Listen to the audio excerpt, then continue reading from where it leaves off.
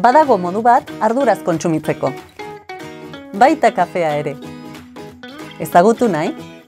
Kafea hartzera gonbidatuko zaitugu.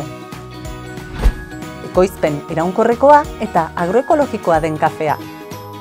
Eta tokian tokiko ekoizlei onura ekartzen diena. Eman izena webgunean eta parte hartu branch solidario baten zozketan.